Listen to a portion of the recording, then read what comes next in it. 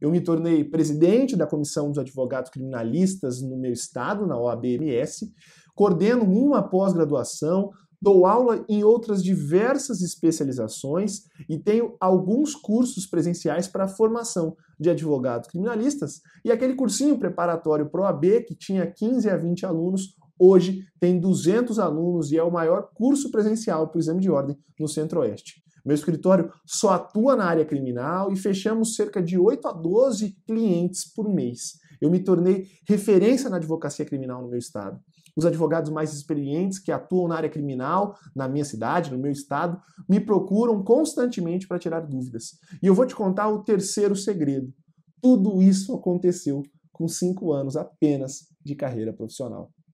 E você percebeu como eu consegui tudo isso? Qual é o elemento que fundamenta toda essa minha trajetória e por que eu fiz questão de te contar isso? Eu nunca parei de estudar.